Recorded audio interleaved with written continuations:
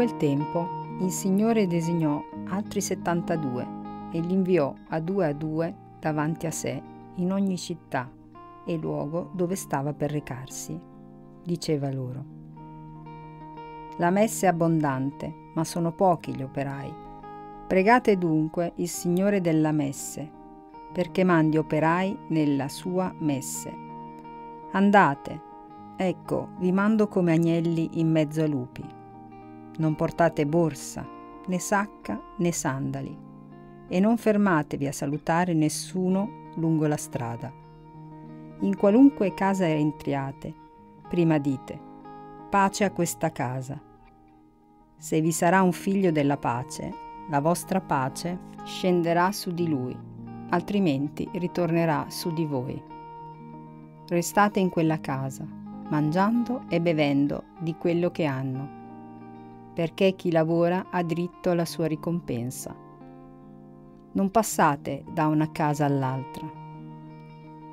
Quando entrerete in una città e vi accoglieranno, mangiate quello che vi sarà offerto, guarite i malati che vi si trovano e dite loro, è vicino a voi il regno di Dio. Ma quando entrerete in una città e non vi accoglieranno, uscite sulle sue piazze e dite, anche la polvere della vostra città che si è attaccata ai nostri piedi, noi la scuotiamo contro di voi. Sappiate però che il regno di Dio è vicino.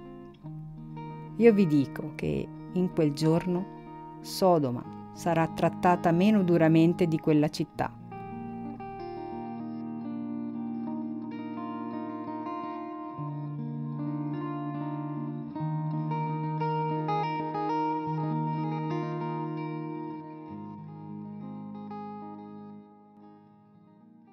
Siamo figli di un Dio che sceglie di venire in missione sulla terra. Come pensavamo di non diventare missionari a nostra volta? La missione non è un optional per i cristiani, siamo fatti così, ma non per partire in chissà quale parte del mondo. La missione semplicemente è l'uscire da noi stessi per andare incontro all'altro. Tutto qui. La novità è nella modalità con cui Gesù ci invia. Ecco vi mando come agnelli in mezzo ai lupi. Non dice andate come cacciatori in mezzo ai lupi e neppure come lupi in mezzo ai lupi. Nel primo caso saremo dei conquistatori, nel secondo come minimo scateneremo una guerra. No, ci dice andate come agnelli, in inferiorità, con le armi del disarmo e con il rischio fattivo del fallimento. Quanti fallimenti viviamo ogni giorno in parrocchia, nella nostra missione pastorale. È la logica degli agnelli in mezzo ai lupi. Certo avessimo soldi, potere, mezzi a disposizione, ma tutto questo non sarebbe missionario secondo il Vangelo. No, forse il fallimento è proprio necessario. Sentite Don Oreste cosa dice a proposito. Eh, Charles de Foucault no? che è vissuto sempre solo, eh? In mezzo ai suoi tuareg, e sentiva talmente il bisogno che il Signore gli mandasse qualcuno a vivere quello che lui viveva, che aveva scritto anche la regola di vita con i futuri suoi che dovevano venire. Va bene, fallimento completo. È morto nel 17, ucciso dai suoi tuari. Hanno ammazzato. Poi la sua regola l'ha ritrovata dopo 17 anni, nel 33 mi pare, boh, e un prete in crisi del suo sacerdozio. Si chiamava René Voyon. Sì, sì. E l'ha presa e ha detto, ma questa è la vita nella sua vocazione.